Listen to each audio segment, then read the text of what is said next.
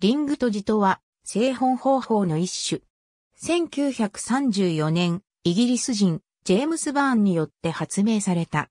まず、ナイロン被膜の鉄線やスズメッキをした鉄線を串状に加工する。一方、この串の刃と刃の間隔と同じ間隔で製本したい紙に穴を開ける。次に、穴を開けた紙に串状の鉄線を通し、圧力をかけて串を丸くし、紙が鉄線から外れないようにする。加工後は丸いリング状となる串の刃一つ一つが鉄線2本でできているので、ダブルリング閉じ、またはツインワイヤ閉じと呼ばれることも多い。串状に加工した鉄線は長らく英国のジェームス・バーン・インターナショナル社が独占的に供給してきたが、現在では世界各国に同様のメーカーがある。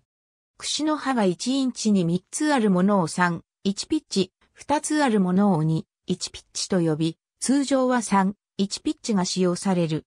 ただし、日本では東京の笹岡工業が串の刃と刃の間隔を9.5ミリに設定したものを独自に製造販売したため、9.5ミリピッチが標準規格となっている。リング閉じは道路地図や写真集の他にカレンダーやスケッチブック、ノートによく用いられる。他の製本方法との最大の違いは綴じたものを開いた時に完全に平らな状態になることであり、見たいページ以外をすべて後ろにぐるりと回すこともできる。スケッチブックやノートであれば、筆記にとても便利である。紙に穴を開ける機能とリングを綴じる機能を備えた卓上の製本機があれば、誰でも簡単に製本ができることも、リング綴じの特徴の一つである。また他にシングルワイヤーで閉じるものもある。